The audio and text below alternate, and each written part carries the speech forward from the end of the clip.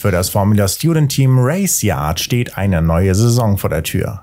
In den letzten zwei Jahren musste das Team mit rund 50 Teilnehmern ja unter massiven Einschränkungen arbeiten. Corona, das ist natürlich so eine Sache für sich. Da brannte es dann letztendlich an allen Ecken äh, plötzlich hier und dort. Ähm, ja, mein Vorgänger Moritz Arbeit hatte auch allerhand zu tun, aber trotz dessen haben wir es wieder geschafft, äh, ein Auto auf die Beine zu stellen und rechtzeitig zu den Events jetzt im Sommer 21 äh, eben auch fahrfähig zu sein.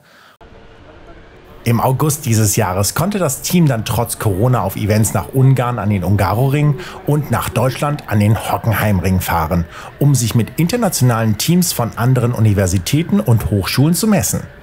Dabei konnten sie in Hockenheim den 18. Platz von 85 teilnehmenden Teams belegen, mit einem herausragenden dritten Platz in der Kategorie Efficiency.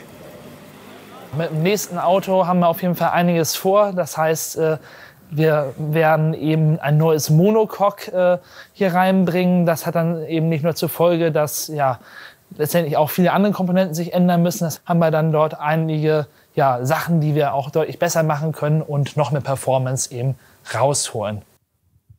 Zum Beginn der neuen Saison im Wintersemester steht für die Studierenden noch etwas Planungsarbeit für den neuen Rennwagen an, bevor es dann an die Fertigung einzelner Teile und das Zusammenbauen gehen kann. Immerhin wollen sie nächstes Jahr schon den nächsten Elektrorennwagen vorstellen wenn man jetzt so ein bisschen Interesse gewonnen hat, äh, seid ihr auf jeden Fall hier herzlich willkommen.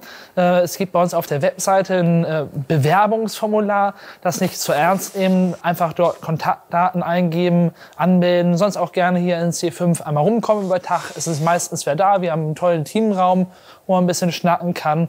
Und äh, dann sehen wir mal, wo vielleicht ihr so ein bisschen mitwirken könnt und äh, das Ganze zu unserem Auto machen.